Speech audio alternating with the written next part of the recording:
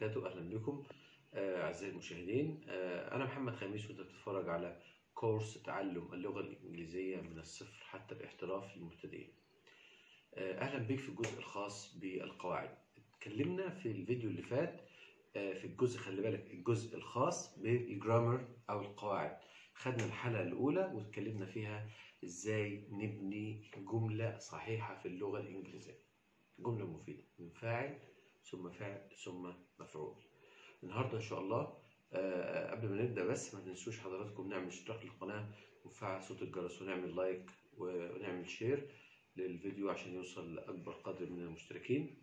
آه، النهارده إن شاء الله هنتكلم في ال- الحلقة رقم اتنين الخاصة بال grammar قواعد آه، إحنا اتعلمنا الجزء اللي فات إزاي نتكلم على بناء الجملة من فاعل ثم فعل ثم مفعول. وقلنا الفاعل ده بيكون يا اسم يا إما ضمير. النهارده إن شاء الله هنتكلم عن البروناونز يعني الضمائر. هنعرف أنواع الضمائر دلوقتي مع بعض في آه، الفيديو. يلا بينا. الجزء النهارده آه، تبع كورس القواعد. حلقة رقم اتنين. إن شاء الله النهاردة هنتكلم عن حاجة اسمها ال pronouns يعني إيه pronouns؟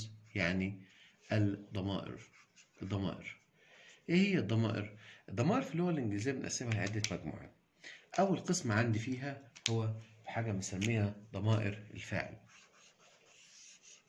ضمائر الإيه؟ ضمائر ال subject بنسميها ال subject pronoun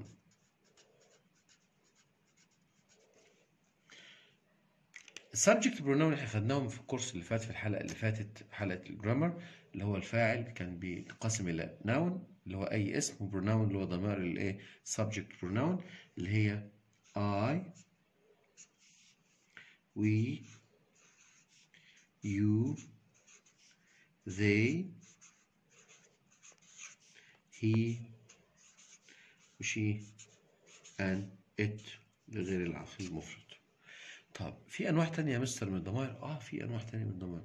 طب إيه هي حضرتك؟ هقول لسعادتك دلوقتي أو حضرتك أو حضرتك. يبقى أول قسم من الضمائر عندي هو ضمير الفاعل نسميه إيه بال English؟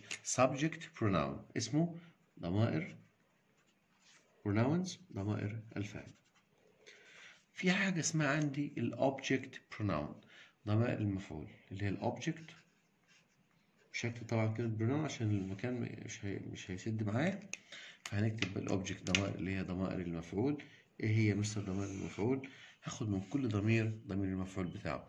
طب إيه عندي غير ضمائر المفعول؟ عندي حاجة اسمها ال possessive possessive pronouns. وال possessive دهيت بقى لها قصة كده معايا بنقسمها إلى مجموعتين. حاجة اسمها ال possessive adjective وحاجة اسمها ال possessive pronoun يبقى أنا عندي possessive adjective. Adjective هنختصرها كده عشان المكان. وبوزيسيف pronouns. ودي معناها ملكية. دي معناها إيه؟ ملكية. طيب في حاجة تانية غير ضمائر الملكية؟ في حاجة اسمها الضمائر المنعكسة بس طبعا مش هن يعني لها في في الحلقة ديت عشان خاطر الموضوع ميبقاش طويل عليكم بس هديكم فكرة بس عنها. أوكي؟ في حاجة اسمها reflexive pronouns.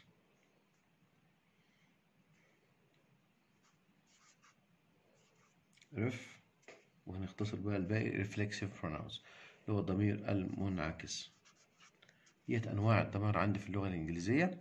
ضمائر فاعل ضمائر مفعول وفي حاجة اسمها طبعا ديت صفة adjective اللي هي صفة ملكية وحاجه اسمها ضمير ملكية. طيب يا مستر حضرتك يعني إيه برضو مش فاهمين أو هنفهم دلوقتي مع بعض لما ناخد آه، التفريده بتاعتهم وناخد بيجوا إزاي يبقى ضمائر الفاعل اللي هو I المفعول منه me طب صفة الملكية يا مستر بتبقى my طب وضمير الملكية يا مستر mine في فرق بين صفة وضمير؟ هقول لحضرتك إن شاء الله في لما نخصص حلقة لكل ضمير فيهم إن شاء الله. I me my mine. طب المنعكس منه يا مستر نقول my ومع المفرد نقول self. والجمع نقول selves okay يعني مثلا لو جينا نتكلم على مثال لو حبيت أعمل جملة وقلت أنا أكتب الدرس بال English هنقول I write the lesson. لو عايز أقول بنفسي هنقول I write the lesson by myself يعني بنفسي. okay؟ لو في كتاب قدامي أقول الكتاب ده بتاعي أو ال marker ده بتاعي بنقول this is my marker. فقلت my قبل الشيء المملوك. لكن mine تيجي بعد الشيء المملوك. this marker is mine. طب لو مفعول يا مستر هنقول إيه؟ this is my pen. Give it to me. اديهولي بتاعي ملكي. this is my pen. هلاقي حاجة مشتركة مع me يا إما يكون ضمير فاعل إما يكون صفة ملكية أو ضمير ملكية أوكي؟ لأن دولت كده كلك ضمير متكلم عن نفسي أنا. أوكي؟ طيب. we بقى we بتبقى us our ours. أوكي؟ وهنا بقى هنقول ourselves هنقول إيه؟ ourselves our selves هنا you بتبقى you your yours وهنا بقى بتنقسم إلى yourself أو yourselves لها جزئين. هو على حسب الموجود عندي. يا نقول yourself يا نقول yourselves أوكي؟ طيب. number uh, four they يعني هم تبقى them دي المفعول منها ضمير المفعول الصفة their their الملكية صفة الملكية ضمير الملكية بيبقى their theirs لو لاحظنا حاجة هنلاقي إن أغلبيتهم ما عدا mine except mine ends with s ours yours theirs and so on. He المفعول منها him الملكية his his. يا مستر هو هنا his في صفة ضمير الملكية زي صفة الملكية؟ آه نفس التركيبة أوكي؟ هنا بقى الملكية هيبقى هنا آه منعكس themselves selves بالجمع v e s. هنا his himself تبقى him h i m ونقول self بنفسه. she بتبقى her ملكية برضو her صفة الملكية her ضمير الملكية hers. هنا her self طب it it it's بعض علماء اللغة بيستخدموها. it's والبعض يقول لك مفيش يعني ممكن نستخدمها. it's غير شائعة الاستخدام. uncommon uses for English pronouns. it's وفي ناس بتقول لك الأغلبية ما نستخدملهاش ضمير إيه؟ ملكية لكن فيها صفة ملكية. أوكي يعني دي صح ودي صح. هنا بقى هتبقى itself بنفسها. دي كل أشكال الضمائر في اللغة الإنجليزية. عشان نبقى فاهمين أنا بحب لما أشرح حاجة نشرح كل وناخد بعد كده جزء عشان الناس تبقى فاهمة يعني إيه ضمير. أنا كان ممكن أبدأ أقول ناخد مثلا ضمير الفاعل وبعد كده ناخد معاه المفعول وأنت هتيجي تتلخبط على ما توصل لنهاية الضمائر لكن دلوقتي قدامك الخريطة اهي موجودة أو الشكل الرسمي اللي قدامك دوت في أنواع الضمائر أنت بعد كده بقى حضرتك هناخد كل ضمير مع ضمير مختلف يعني ناخد مثلا ضمير الفاعل والمشتق منه المفعول وندي عليهم examples أو نعمل drill تطبيق كده عليهم عشان تفهم. بس لازم حضرتك إن شاء الله في الكورس دهوت أو في الحلقة دهيت رقم اتنين في كورس القواعد أو ال grammar لازم تعرف أو تذاكرهم كويس قوي عشان لما نيجي الحصة الكورس اللي جاي إن شاء الله أو الحلقة اللي جاية تقدر تبقى متواصل معايا وفاهم معايا لازم تقول كده تحفظ تقول I مفعول منها me آه صفة الملكية my الضمير ماين تعرف ان وي بتبقى آه المفعول منها us our ours ومنعكس ourselves you you your yours ومنعكس يا اما yourself لو مفرد لو بخاطب جمع يبقى yourselves they them their theirs themselves he him his his himself she her her hers herself it it its ممكن نقول مفيش أو ممكن نستخدمها uncommon used غير شائعة الاستخدام itself ضمير المنعكس. ده بالنسبة لكل ضمير آه، ممكن ناخد دلوقتي مثال كده بسيط أو ناخد آه، ملحوظة كده على الضمائر لحد ما نتناول الجزء جزء بالتفصيل إن شاء الله في الحلقات اللي جاية. هنا عندي آه، صفة الملكية دهيت. صفات الملكية بتأتي قبل الشيء المملوك. أما ضمائر الملكية بتيجي بعد الشيء المملوك. يعني مثال يا مستر هنشوف بس ضمير فاعل آه ونشوف معاه صفة ملكية مع ضمير ملكية. When I say لما أجي أقول I space have book ويعمل لي choices اختيارات ويقول لي I ولا me ولا my ولا mine. ويقول لي اختار number one. choose يعني اختار. لما أجي أبص المثال زي دوت كلك ضمائر وكلك عايد عليا أنا كمتحدث أنا اي طب إيه اللي بيبدأ في في الجملة؟ إحنا قلنا ضمير الايه ها؟ معايا كده شفت نرجع ورا تاني؟ نشوف الشرح بتاعنا. قلنا اللي بتبدأ بيه ضمير الفاعل اللي هو اي يبقى اي دي بتحل محل الفاعل يعني بتبدأ بيها أول الجملة في ال statement الجملة الخبرية. يبقى الصح بتاعي أو اختيار الصحيح هيكون I هيكون إيه؟ I برافو عليكم. ناخد مثال تاني. لو جيت أقول this this is space book. على نفس المثال ويديني choices ويقول لي I me my mine. أوكي طيب.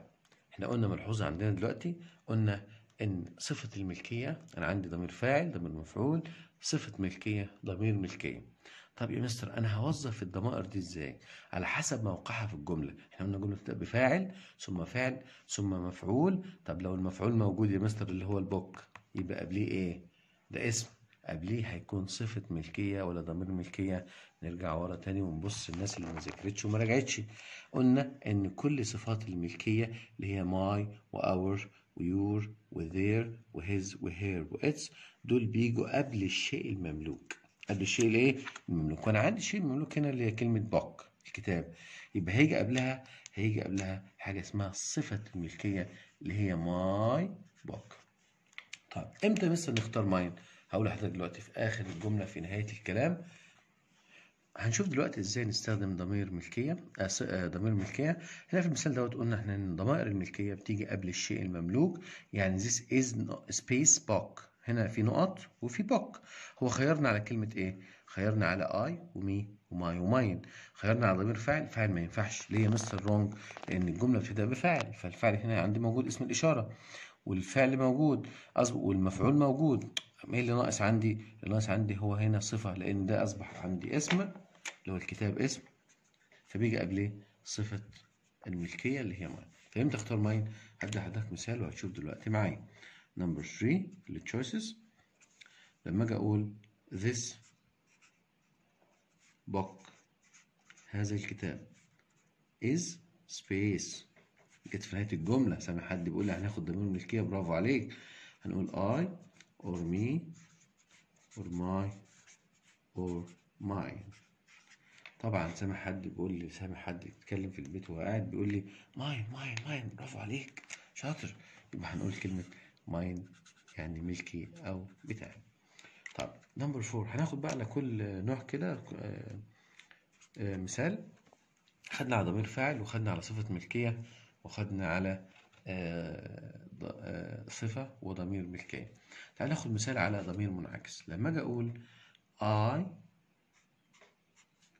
do my homework بعمل الهوم ورك بتاعي by space. واديني choices. ويقول لي I me my myself. دايما حضرتك لما تلاقي في الجملة ضمائر وفي باي يبقى هو المنعكس اللي هو بنفسي. ونفسي هو منعكس على من وقع عليه الفاعل. يعني منعكس من الفاعل. الفاعل لو كان I هيبقى myself طب لو كان أحمد مثلا يا مستر إحنا ما خدناش أحمد. طب أحمد ضميره he. يعني already الضمير بتاعه he.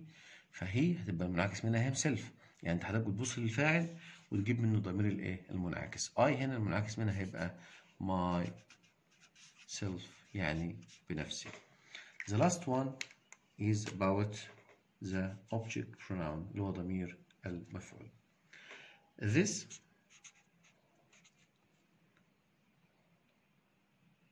is my book. Dot give it to space. يديني choices ويقول لي I. أنا طبعا ركزت نستخدم نوع واحد من الضمائر عشان أنت ما تتلخبطش تعرف استخدمنا هنا مرة I ومرة استخدمنا my مرة mine مرة myself. ودلوقتي هنستخدم ضمير تاني هتشوفوا دلوقتي معايا. I me my mine myself. Five choices okay? This book is this is my book. This is my book. ده كتابي. Give it اديه لي لمين بقى؟ لأنا. ليا كمفعول ولا فاعل؟ أصبحت أنا هنا give it أعطيه هو ليا. في هنا مفعولين. مفعول به أول اللي هو ادي عادي على البوك يبقى اعطيه أنت المفعل أنت هنا تقديره أنت. Give it to uh, me. يبقى سامع حد بيقول لي مي برافو عليك. Give it to me. ده كل أنواع الضمائر اللي إحنا اتكلمنا عنها دلوقتي. This is all for now. I hope you understood what I said for today. Uh, الحلقة الثانية pronouns ضمائر Uh, this is all for now. See you on the next video, inshallah. See you and goodbye.